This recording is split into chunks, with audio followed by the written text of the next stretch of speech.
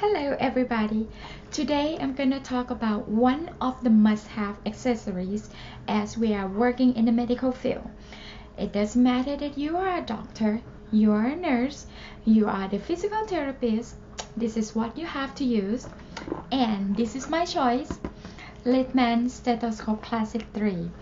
The day that I purchased it, it was a year ago, which I actually got as a gift that I passed the NCLEX test and this is the video about the anatomy of it, how to use it, how to clean it, and how to replace it. As I already lost this is not the first time. This is the second time because I actually has the um, sparing part in the box that came with it. I would assume it I already looked in the box. Um, I mean in the order and it doesn't say it but because it's just in the bag so I assume that um, in the box you would get the diaphragm for this chest piece and also the rim that to make this smaller piece to be the bell. And you will get two ear tips. I call it ear tips. I think I call it right. Okay. Now we're gonna learn about it a whole thing this is the stethoscope this part is the tubing that right now they are in the better quality that will be good and last longer not can not be ruined by the oil and the sweat from us but if it happen I already look. this is another part that you can um, buy just to change it okay? And if I remember it right right now is um, July 2018 I look on the price it said $25 so it's not too bad. Then this is the piece the this is a very important piece in there the diaphragm. This part is the bigger one that I use most of the time and this is the smaller part. Um, Sometimes you can take this off and put the rim as I told you to make it as a bell. I mostly use the bigger part because it's easier to listen and my patient is quite large so this is the main thing that I would use. And this is the, um, the headset.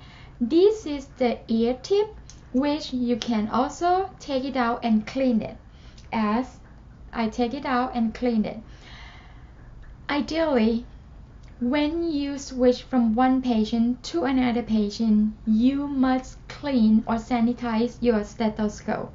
And I think that would be a reason why I lost my diaphragm because when I work, I would use um, the hand sanitizer to clean my hands and also clean a whole stethoscope in the same time. And then I would go to the next patient let's see how I put this back in. As I said everything can be taken off right? We're gonna talk about it later. Now we're gonna go to how we're gonna put the stethoscope back in. But yeah that makes me feel like I need to put this back in. The ear tip is not difficult to put back in. You will see the smaller part. You will see the I'm sorry it's difficult to show. Um, the bigger part and the smaller part. The bigger part will be the one that got into the ear. So when you put it back you just basically put it through this um, head headpiece and earpiece. Get it right through. I mostly clean them with um, the soap and um, just water to get it cleaner than the routine, the daily routine. And now we're gonna show, I'm gonna show you how to use this one. When you use it, that you can see, it's pointing to one side and that's how you put into your ear. This way, these two ear tip will go out from you, away from you. That's how you're gonna put into your ear, this way. And another thing that could help is um, this piece that I use at my um, identification tag. You can use this piece to be your um, landmark that tell you this is the part that will go to the front and that will be your name on top of this that also to prevent it from I don't like to use the word stolen as it could be just lost right? Okay so you use this part and get um, the ear tip point out away from you. Put into your ear. It's going to be like this. And when you use this diaphragm as it's two parts it can be turned. When you use you're going to use only one side of the diaphragm. Which one that you use you're going to have to turn the tube to that side otherwise you're not going to hear it. You can see there's a little hole that it would not see it would not be seen when I turn um, when I replace the diaphragm. And that's how you're going to use it. When you clean you can clean a whole thing and up to the tube. Now we're going to see how can I replace this. When when you lost you can I think you can buy separately just a diaphragm or a whole kit like this but what I found I only got a whole kit so I will have some more extra. One set will have um, let me get the status. Let me get my reading glasses. This kit will be about 20 something dollars. What you will get will be the snap tight soft sealing ear tips small turnable single piece diaphragm adult turnable single piece diaphragm diaphragm pediatric and non-chill bell sleeve. But what I would need what I what I need today will be only just um, the bigger diaphragm which is the turnable single piece diaphragm for adult. Before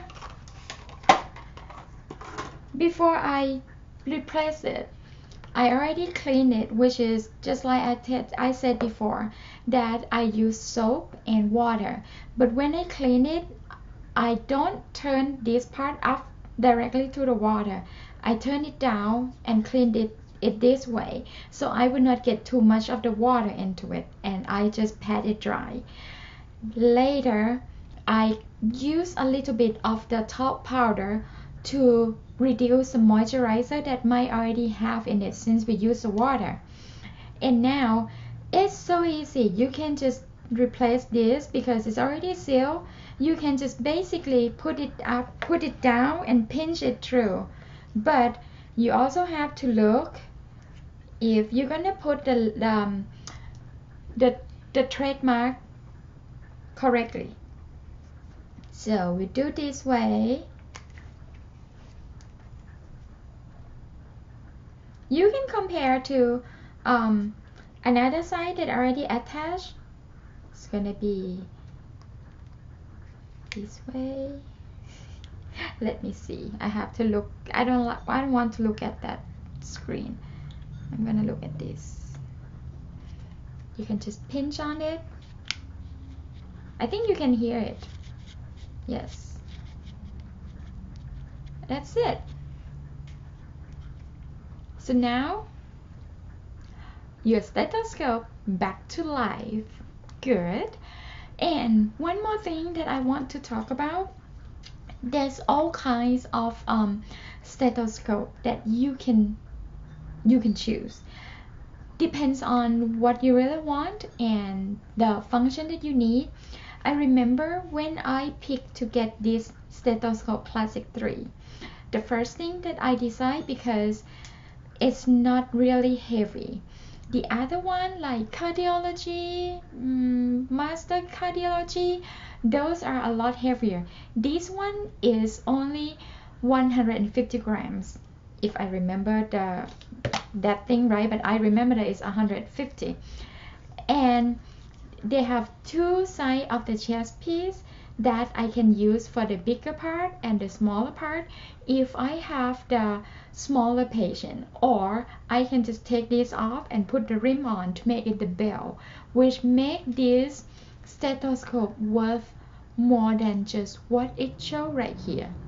But as I said they also have the um, the lightweight. I think it, it a name is um classic 3 lightweight SE or something. But that one you will only have one diaphragm. This part is not going to be anything that um, you can turn to use with your smaller patient. So for me from 150 to maybe 120 a little less than 120 i prefer to take this one. And for all this one year yes i love it and i pretty much use it every single day at work. I hope this video will be useful for you and maybe next time we talk about what i would use at work again later. Today thank you so much for watching. Bye! Now we back to talk about the stethoscope in the deeper detail. This slideshow that i created will show you the bigger picture of the anatomy of the, stethoscope, the basic uses, and the comparison chart that you can take a serious look and then you can pick the perfect one for yourself. This picture shows the anatomy of the stethoscope that you can see that the longest part is the red one is the flexible tubing or rubber tube which you can pick from the brand that they offer for you for this feature. I am not sponsored by anybody so this picture show just the basic parts of them. And if you go to each brand they might tell you about the differences of the feature that they put into the tube which for me is really important. That's another part that really really important because it's going to be with you and you have to use it all day. Um, sometimes the sweat on you the oil from your body would have some effects on the tube as well. So that would be another section that i would like you to pay more attention when you buy it. The other part that we use it all the time and also the part that we listen to it. There's two sides of them. That would be either the diaphragm or the bell. Or sometimes it can be just one side of it which you will see later. The ear tubes these part we make with the metal tubes. It can be adjustable which will make it um, fit your face um, i don't know if i should call face of a whole scalp because um, you can make it bigger or you can make it smaller by squishing it or um, you will you will see how it works. And then the ear tips or the earplugs this part will be the one that stick in your ears. Um, they decide to fit perfect to your ear canal so you will see how it goes into your ear this is the type of the diaphragm that you can choose depends on your needs. The first picture that you will see they have the different part. This one is a lightweight that if you like um, they are not pricey and they really light as the name of it.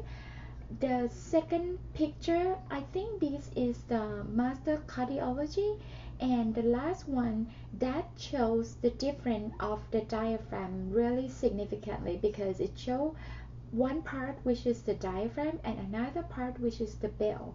So if you learn more about your needs and then you can understand more about the stethoscope which will be the right one for you.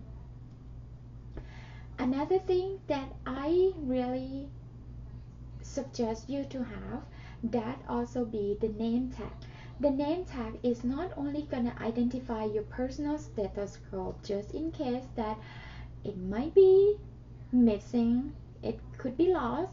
The name tag would help you to get it back from anybody and it also be the guide the guideline that you can use it correctly as i told you um, the stethoscope will be point out and this name tag would help you to know which direction to go to your ear canal. And you have the options of engrave it or you can use your own marker to get your name on it. This picture shows the right way of the ear tips or the earplugs that get into your ear when you listen. This way the um, the stethoscope will point toward to your body and it will and if we insert correctly into your ear canal. That's gonna be gets into your body. That you can see from the picture.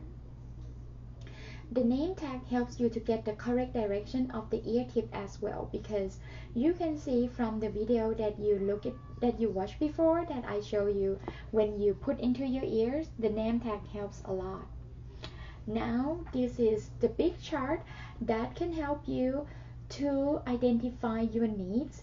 You don't know which one you like and i really want you to understand sometimes you have to invest in your career. You may have to specify what do you need from your stethoscope. If you only need just some basic procedures you can only need you can only get so much from from a cheap stethoscope. I, I don't really like to say this, but yeah, it's, it's it is what it is. So let's see if I explain you briefly about this chart. They have four kinds. The first one will be the lightweight. This one you will see the numbers on the chart. They have number six acoustic performance. These will be really good for taking blood pressure, and making some potent um, some of the assessment. But if you go to the classic which is not so much more expensive than the lightweight the the price range would be in about the uh, um the low the low of the hundred dollars. You can see which one that you like depends on how do you use it more and also the weight but you can see it could start from 105 grams up to 160 grams. When I was a student, I used a really heavy one. That one, oh my goodness, I don't even want to talk about it. It was super heavy. It was like I carry a textbook. And then we go to the cardiology one. This one that you can see, they got almost a perfect score for the acoustic performance, designed to meet the needs of demanding clinic, clinic, I'm sorry, I can't read this. okay, you can laugh me. I don't know. Okay, whatever. Your English is better than me. You read this yourself. Okay, now, as I said before, this is just a guideline for the beginner. You can find more about the deeper detail at the website that I did some research for you. You can go to the Littmann website to find more about the differences of each model you, so you can compare and pick the one that perfect for you. There are also some training instructions such as using turnable technology, the cleaning and care instruction, and how to optimize your performance by the professional. Here we are today, stethoscope guideline for the beginner with Joanna. Stay tuned, subscribe for more detail. Stay tuned, subscribe for more videos later on. Thank you so much for watching today. Bye!